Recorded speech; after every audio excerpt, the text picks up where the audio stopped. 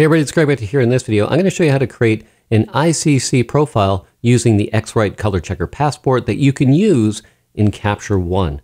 All right, let's get started. So if you don't have the right version, it's not going to work for you. So look to the right where it says ICC. Make sure when you open the Color Checker software that you see ICC. If you don't see that, I'll put a link to the download link. You want to download the V120 at the time of this recording. It could change but I'll put a link to this direct download. That's the version you need. And then also I'll put a link to this PDF that's written description of what to do, what I'm going to show you in this video. All right, so make sure you've got that. Once you have that, what you have to do next is obviously take a shot of the color checker passport using the lighting conditions that you want to create a profile for. This is a silver beauty dish. And then if you look over here at base characteristics in Capture One where it says ICC profile, you want to click on here. Now, if you don't see what I see here with all these different cameras and other and all that, click on show all and you'll see everything here. And then what you do is you go to effects and you go to no color correction. So make sure you have no color correction for your ICC profile. For your curve, you click on that and you go to linear response. Now all you have to do is export this. Now to make it easy for myself, I'm just going to click on crop and I'm just going to crop this portion of the color checker. That's all I need. Then I go to File. I go to Export Images, Variants. Here's the formula you need. TIFF, 16-bit, uncompressed. Make sure it says Embed Camera Profile here for your ICC profile. Embed Camera Profile, Resolution 300. Pick a folder that you can remember or send it to your desktop. I'm going to click on Export Variant. I've done this a number of times. I'm going to click 6. I'm going to go export one variant. It's going to export that. So the next thing I need to do is open my color checker software, which is right here.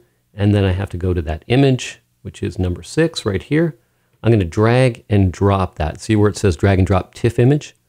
If you do the other one, it's a DNG, so it's not going to work. Once you have this, then you just need to align this a little bit better by dragging these. They're drag and drop. I'm just going to drag and drop these, get an accurate profile, and then I'm going to create profile. I'm going to call this one dash six and save.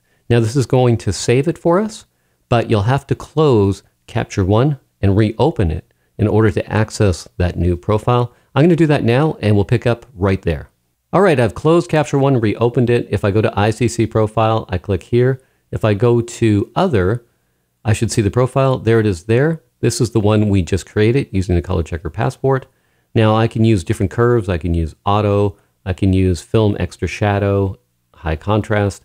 I notice when I go from the generic, you see how the background looks a little darker. It's a little more contrasty of an image.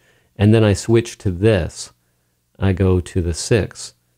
It's, you know, it's not as contrasty. So if that's a concern, you might want to go from say auto to high contrast. So once you've done that, I just wanted to show you something. So I've exported these into Photoshop, but I don't even have to do that because you'll notice right here, I see moire on her dress using the custom profile from X-Rite. Now, if I go to the generic, watch the moire disappear. The moire disappears and the fabric looks like it has more texture. So for me, I find that perplexing. Now you can fix that in the software, but for me, I'm pretty happy with the generic. And so you may not want to go through all these steps. I'll show you how to adjust for that moire right here. So let's go back to the X-Rite that caused the moire. Now what you need to do is find the section in Capture One that deals with moire. You can see here, amount. I found if I took that up to about 80, then the moire disappeared. But that's just one extra step. So that's kind of interesting that the generic profile looks better right you know, on a raw file than going through all that trouble with X-Rite only to have to make some extra adjustments and see that it's a rather flat image. Now you'll probably want to experiment with this, but anyway, that's how you do it. Now, if you want to go into, say, Photoshop with it afterwards too, all you would do is say Image, Edit With. You can click on Photoshop, and these are the settings I use in Photoshop. TIFF, 16-bit, uncompressed, Adobe RGB. And then I've already opened them up in Photoshop, and you could see this is the one that uh, has the moire, and they both have moire. Well, that one doesn't. So this is the one, the generic profile from Capture One, and then this is the one I created that has moire. So I just kind of noticed that because I was looking at the colors. I haven't done any color correction. And if you just look at this right out of the box, I kind of like the look of the generic profile from Capture One, but that's just me. Anyway, so that's how you do it. If you want to try it out, you can and see what you think. See if you're just going to go with the generic settings that Capture One has, or see if you see an improvement in the overall colors.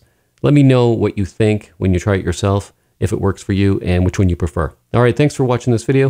If you're not already a subscriber, make sure you hit that subscribe button. I come out with a new video every week. If you don't want to miss it, click on subscribe and hit that bell notification to get an email update. If you found this video helpful, give me a thumbs up and also leave a comment below about what you thought, whether this is worth the extra effort that it takes. All right, thanks again for watching this video, and I'll see you in the next one.